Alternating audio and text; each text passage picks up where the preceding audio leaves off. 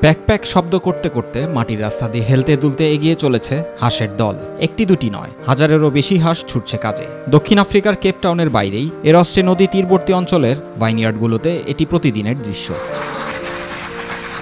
তবে হাঁসের দল যেদিকে ছুটছে, সেদিকে নেই কোনো পুকুর। নদীর কিনারেও তোলা আছে উঁচু পাঁচিল। আসলে তারা যাচ্ছে অফিসে। হ্যাঁ ঠিকই শুনেছেন। মানুষের মতো হাঁসেরাও চাকরি করে এদেশে। ভোরের আলো ফুটলেও তারাও দল বেঁধে কাজে যায়। বেতনও পায় মানুষের মতোই। অনেক বছর ধরে চলে আসছে এখানে হাঁস কর্মী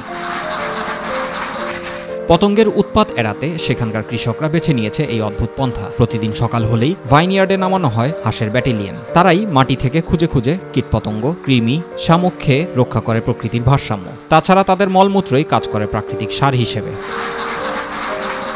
কেপটাউনের প্রতিটি ভাইনয়ার্ডে কাজ করে প্রায় ষোলোশোরও বেশি হাঁস। তবে এখানে সব প্রজাতির হাঁস নেই। এক্ষেত্রে ইন্ডিয়ান রানার ডাক প্রজাতিকেই বেছে নিয়েছে দক্ষিণ আফ্রিকার কৃষকরা। প্রতিদিন রাতে তাদের জন্য বরাদ্দ হয় বিশেষ প্রোটিনযুক্ত খাবার। মূলত এটিকেই ধরা হয় তাদের বেতন হিসেবে। বছরে একবার, মাসখানেকের লম্বা ছুটিও পায় এই হাঁসেরা। সেটা মেলে ফসল কাটার মৌসুমে। দক্ষিণ আফ্রিকার এই প্রথা একদিকে যেমন রাসায়নিক দূষণে রেশ টেনেছে, তেমনি এই অবাক করা অফিস হয়ে উঠেছে সে দেশের অন্যতম আকর্ষণ। Jubai Rahman, My TV news desk.